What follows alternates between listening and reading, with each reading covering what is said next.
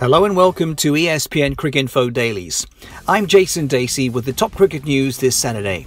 First up, coach Ravi Shastri says the Indian team's objective is to play like the number one test team in the world.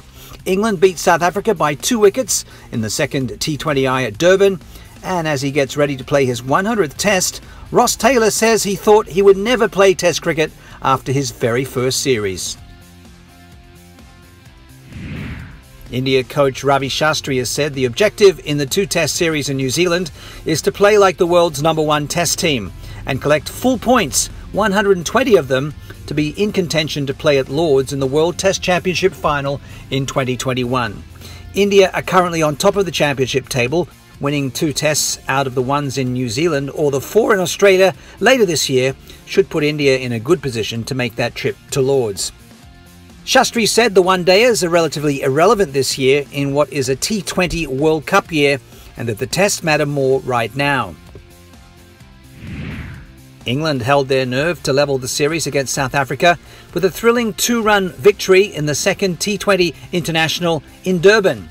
South Africa needed three off the last two balls to reach their target of 205, but Tom Curran dismissed Dwayne Pretorius and Bjorn Fortuin to secure the win. Pretorius hit a 6 and a 4 to put South Africa on the brink, but Curran responded with a superb Yorker to remove him LBW.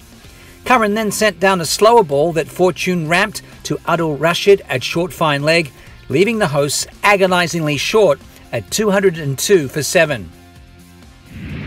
New Zealand batsman Ross Taylor is on the cusp of making history becoming the first cricketer ever to play 100 international matches in each of the three formats in the first test against India in Wellington. Ross Taylor, who has 99 test matches to his tally since making his debut in 2007, felt he would not cut it at the highest level in this format following just his first tryst with it. I think after my first test series against South Africa, I, I didn't think I would, um, I didn't know if I'd play test cricket again. I've been, been happy with, um, you know, with with what I've achieved today, uh, to date. Um, you know, Test cricket and, and, cricket as general is a better. You know, you go through a lot of ups and downs, and, and that's definitely um, you know what, what I've been through, and, and as a team as well.